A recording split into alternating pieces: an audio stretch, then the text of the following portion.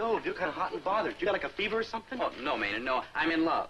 And love has made my whole inner being warm and glowing. Man, why waste all the heat on a chick when you could like put it to good use and burn down the school? Well, no, Maynard, you don't understand. I like feeling warm inside. The only trouble is Chatsworth Osborne Jr.'s after this girl, too. That's square. Yeah. I just wish I could show Delphine that he's not as good as he says he is. Yeah. Hey, I happen to know he likes cheats on his schoolwork.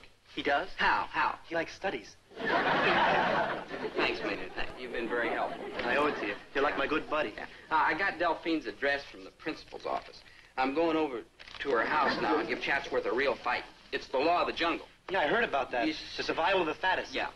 Eh, That's fittest. Yeah, fittest, yeah. You see, Maynard, in this world there are the haves and the have-nots. And the have-nots must fight to get what they want from the haves. Yeah, like two Yes. dogs barking and growling over the same bone. Yeah, that's good, Maynard. You see? Or a couple of squirrels coursing tails over the same nut. Uh-huh, right. Yeah, Now- or two robin redbreasts batting wings over one dinky little nest. Yeah. Yeah, take owls. Owls? There's only room in them branches for one owl to sit around mumbling. "Hoot, hoot." But that don't stop. Maynard, No, no, sir. no. They keep moving champion hooter. Yeah. Yeah. Now- Or ducks. Maynard. Look how they fly in them V-shaped formations. Yeah. Only one little quacky lead leader can be out in front leading the bunch. Maynard. But they flap around and quack at each other till they pick a duck lead. Maynard, enough!